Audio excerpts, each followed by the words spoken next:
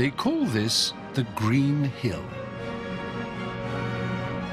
And at the summit sits a legendary theatre.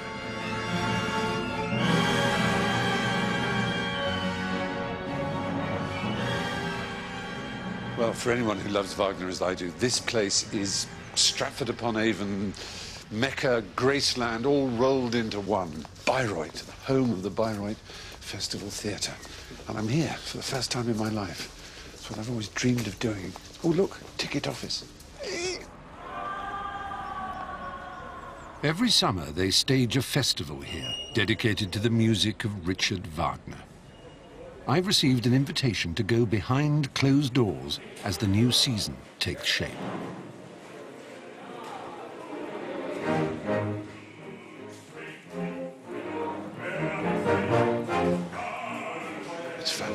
Don't often get a chance to see this.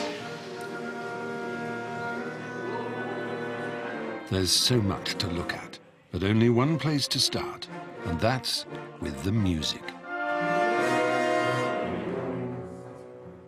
Wow, this is amazing. Lucky beggars. As always, the centerpiece of this year's festival is the Ring Cycle. Four monumental music dramas inspired by ancient myth. This is a rehearsal for the second of them. Look. Valkyrie. Second act. Just the second act. My God. There it all is. Every note of it. Shouldn't really be looking. He's got his notes here. It's cheating. Whoops. Put that down. Quick. Be in trouble. And, uh, and there are the Valkyries, look. Guten Tag, Valkyren.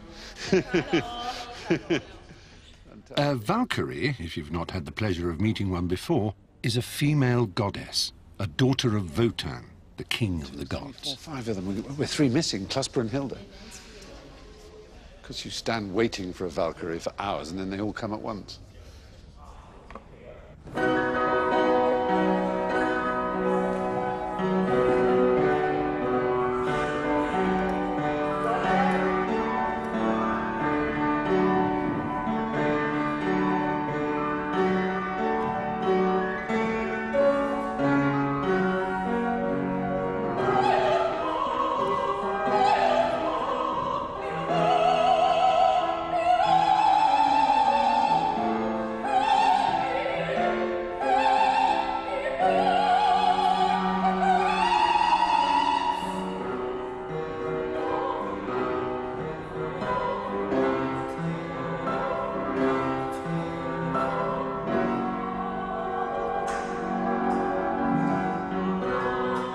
Must be the most famous Wagner tune of them all. But music is only one element of his genius. He was also an extraordinary dramatist. And his revolutionary work demanded the creation of a unique theatre to stage it in.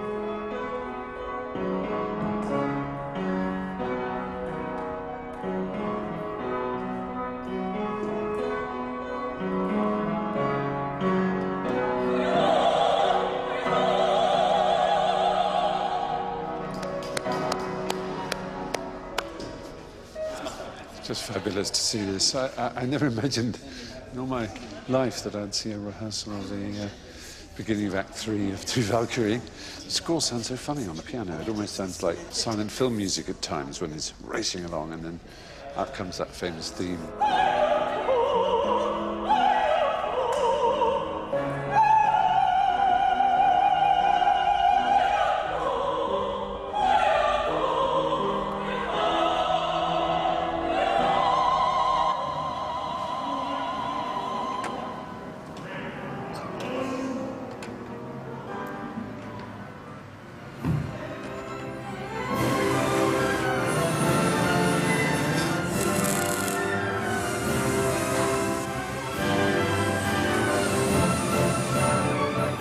It took Wagner a lifetime to create this temple to his art. It's still driven today by the ideals which inspired him, dedicated to excellence in performance and production. Don't know which opera this is from. Some mud made of rubber. and real grass.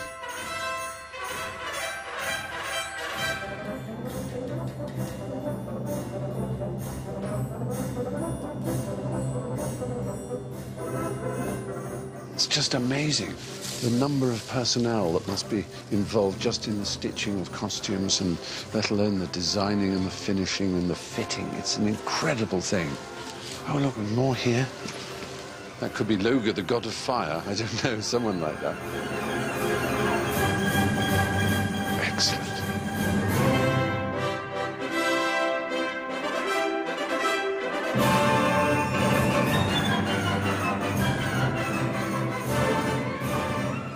Welke, welke, welke tier? Ein Ocelot. An ocelot. My goodness me. But it wasn't killed for the production. No, It was already. Not at all. It's very old one. very old. One.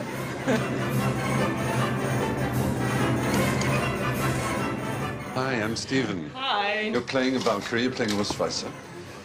Oh, it's quite a costume. It's fantastic. Wow. yeah.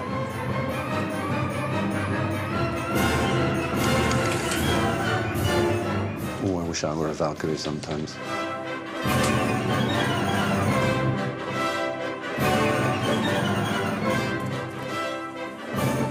Fabric a go-go. These boxes, even the boxes are Wagnerian. Parsifal Women, Ring 2006 Siegfried. It's just a, it's a treasure house, isn't it? Stoff. Goodbye, Stofflager. I'm not sure if I was allowed in.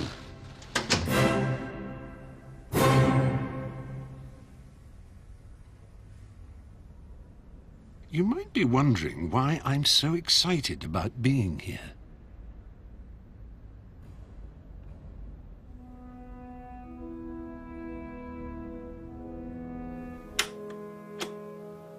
I must have been 11 or 12 when I first heard Wagner's music on my father's gramophone.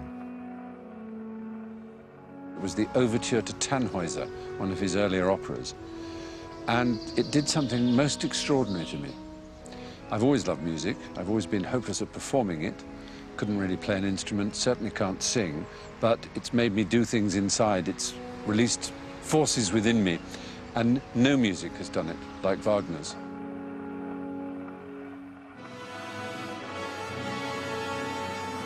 To experience the music I love in the composer's own theatre is something I've dreamed of doing for as long as I can remember.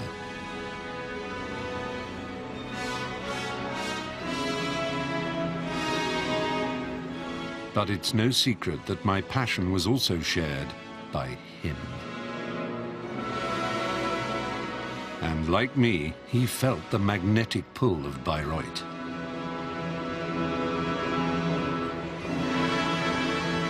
I'm Jewish and lost relatives in the Holocaust.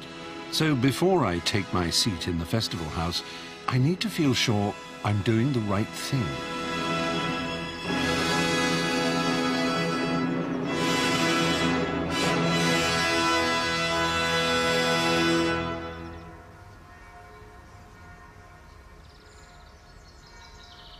To understand why this place exerts such a powerful hold on all of us who've loved Wagner's music, you need to understand what it meant to the composer himself.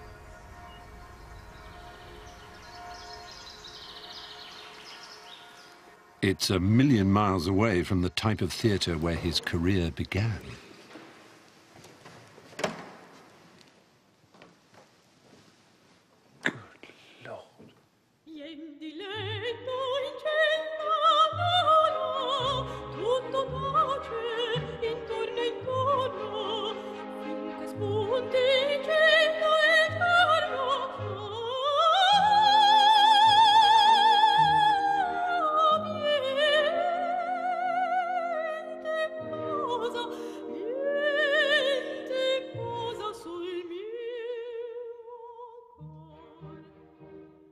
This is everything Wagner detested about opera a place to show off, to be seen, place to whisper and talk and stare across at your rivals and neighbors and social betters and social inferiors and all the snobbery and nonsense that still pertains in so much of opera, of course. Wagner hated all that. But it's funny. You've got to admit it's funny. Good gracious.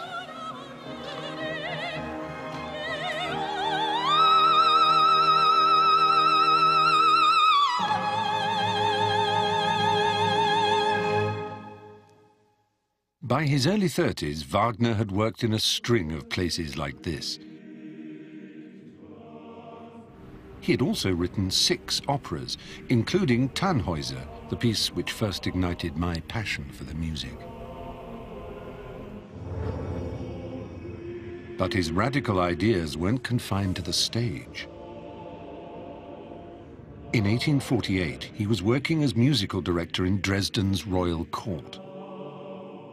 This was a year of political revolutions in Europe, and Wagner soon joined the struggle.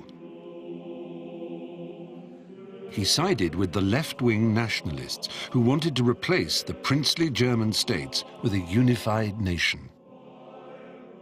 When the uprising failed, he found himself a wanted man with a price on his head.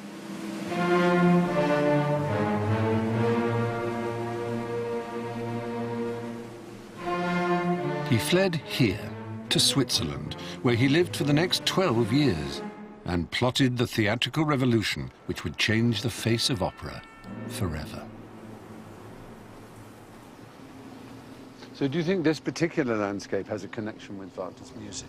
Oh, yes. It was the first time he'd seen the mountains at all in his life when he came to Switzerland in uh, 1849 after the revolution, after he was thrown out and had to escape.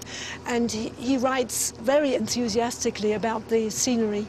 I mean, he didn't want his music or his opera to be artificial. He keeps saying natürlich. He very often described stage directions which have to do with the mountains. Mountains, clouds, cliffs, rocks, and so on. Yes. They're all described, and then, of course, they have the association with the Swiss landscape. So it seems to be clear that Switzerland was more than just a, a little place to wait while, uh, while the storm died down. Oh, yes, I think Switzerland played a great role in his life. Before he fled Germany, Wagner's career had started to take off. Now, age 36, he was homeless and virtually destitute.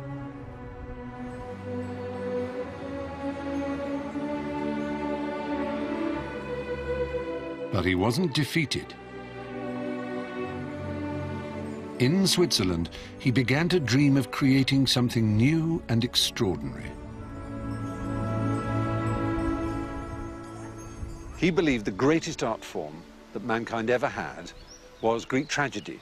Not because of the nature of Greece or the nature of tragedy, but because Greek tragedy encompassed all the arts of acting, verse, music, dance, costume, spectacle, chorus.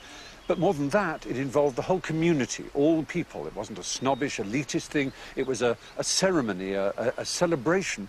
But more than that, it was a religious ceremony. And on top of that, too, its subject matter was myth. And Wagner believed very passionately that the very nature of myth was universal because it was outside time. It wasn't about the bourgeois or the aristocracy. It wasn't stories of love affairs in history. It was, it was, it was outside time, almost like science fiction, but science fiction set in the past, if you like. It could speak to everybody, whatever their condition. So his revolutionary idea was to have what he called the total work of art, the Gesamtkunstwerk, um, and that therefore the word opera was pointless. He hated grand opera with its, um, its flounces and its absurd trills and ornaments. Obviously, at its greatest, like Mozart, he, he venerated it. But he wanted to cleanse the theatre and cleanse art of all this nonsense and to get back to the elementals and to make a theatre for the people which was music and dance and drama and everything. And he was going to be the one to create it, and he was going to be responsible for all aspects of it. And he put this together in an essay he wrote here in Switzerland, um, uh, which was about uh, the future work of art. Uh, and it was a future work of art that he was to make into a present work of art, the Wagnerian music drama. To bring to life his utopian ideas, Wagner conceived an opera about the mythical dragon-slaying hero Siegfried. Over time, his ambitions grew. Instead of one opera, he would write four. an epic exploration of the conflict between our appetite for power and our hunger for love. It begins with the struggle for control of a magical ring, which grants its owner unimaginable power, but only if they swear to renounce love.